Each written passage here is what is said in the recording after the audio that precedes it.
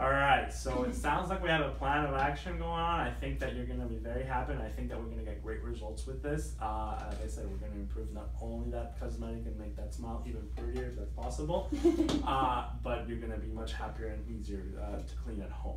All right, so what I'm gonna do right now is we're gonna go ahead and uh, create that itemized treatment plan for you so we can uh, let you know as far as everything that entails and then I'm gonna have our treatment coordinator come by and she's gonna talk a little bit about the financial aspects of things, uh, all the different options because we do have a plethora of different options for you uh, so we can try to make this happen you know? Uh, when i come in my focus is to try to make sure that i take care of your problems and that we address it and then uh, our treatment coordinator should be great and seeing how we can make this happen for you. Okay, All right. all right so Well, let me go ahead and go grab her very nice to meet Nice you to meet you. uh, if you do think of any other questions while you're here, I actually have a little bit of uh, literature that I want to give you, and so you can take home.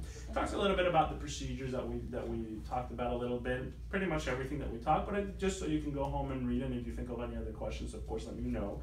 Um, and then I'm going to go ahead and get our treatment coordinator to come and get uh, talk to you about the rest of everything. Okay. Thank you. All right. So here you go. Thank Again, you. very nice meeting you. Nice Take care. you. We'll be seeing you soon. Okay, All right. Thank you.